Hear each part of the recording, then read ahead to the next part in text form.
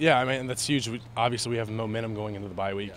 but at the same time, you know, if, if we you know we started to play well, I feel like you know we played pretty well against Maryland, got better against Penn State, and then came out here and, and played like we did.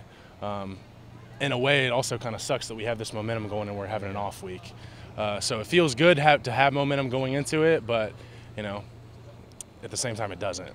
Okay. Just a weird question. Uh, when they did the trailer this week, like the highlight trailer that the team puts out and shows all the little clips. Mm-hmm. Yeah. They showed a little clip like from before the Penn State game last week of JT like talking to the offense, like walking through an aisle and going like this and like. Mm-hmm. Is that what he does? Every single game, Every single game. every single game, even when he was on a scooter, when he broke his ankle, every single game.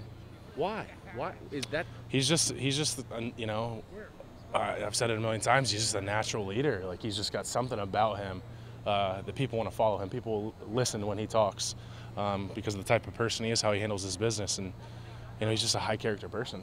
Um, you know, there's a reason he was voted captain as a sophomore, which is huge. So I mean, you know, JT, when he talks, people listen.